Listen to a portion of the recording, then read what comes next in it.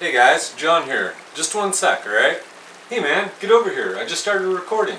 Sorry dude, it's cool, it's cool. Let's do this though, alright? Yeah, you know what we're doing? Yeah, I already got it all planned out, man. I just need your help with the intro. So you ready to do this? Yeah, definitely. Okay, well let's do it then, alright? Yeah. One, two, three. Hey, hey guys, guys, this, is John, John here, and you're, watching Tip, Tip of the Week. Enjoy.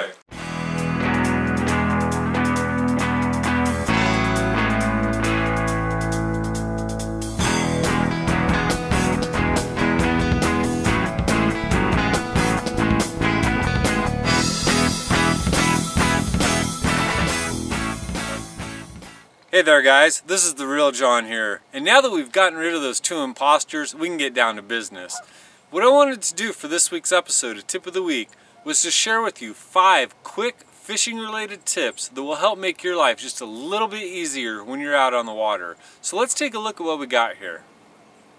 Our first tip actually revolves around braided lines. Now, while many of us understand the benefits and virtues of braided lines, they do also have their drawbacks as well such as when it comes time to cut or retie your line, it can be rather difficult.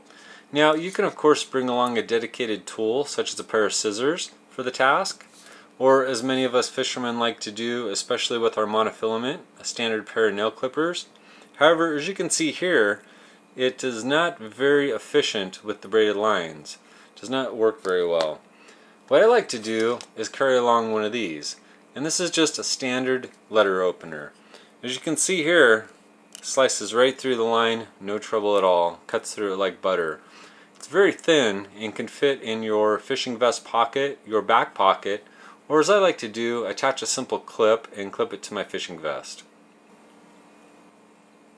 If you spend any significant amount of time on the water, you've more than likely lost your share of gear overboard, such as your sunglasses, possibly your fishing pliers, or worst case scenario, your boat key, as I've done in the past.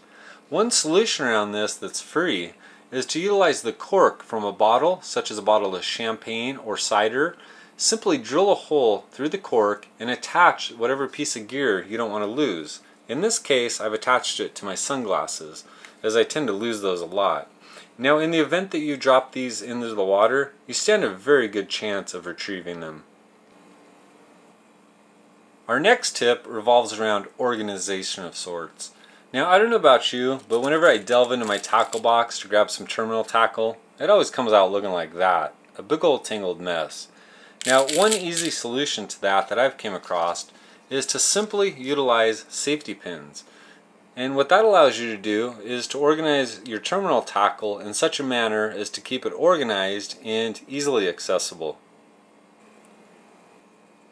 One common annoyance while fishing is the sometime development of knots in your line, such as you see here. Now this leads to weakness of the line and can ultimately lead to breakage of the line during a fight, which is the last thing you want. A good solution for that, to getting those knots untied, is a hook.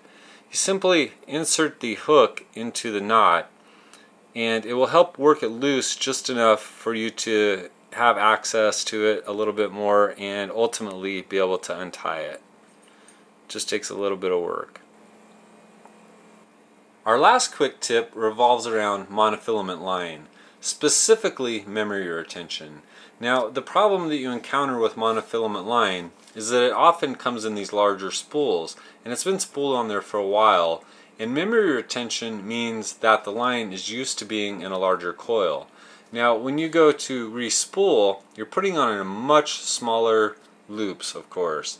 Now what's going to happen is the first couple times you go to use this, especially right after you've spooled, is that line is going to want to return to its original size, its original state. And what that means, it's going to come flying off the spool and you're going to end up with a snarled mess. Now a simple way around that is to simply run your freshly spooled line under warm tap water for a few seconds, which will completely dissipate the memory retention that it has and allowing you trouble-free operation of your new monofilament freshly spooled line right off the box. Well, that's about all there is to it, guys. Just five really simple little tips here. Now, I hope one or two of these may help you when you're out on the water. Now, before we go, I would like to say thanks a lot for watching. Thank you very much for all the encouragement and support that you've extended my way. It is truly appreciated. Until next time, you guys take the best of care and we'll be seeing you soon.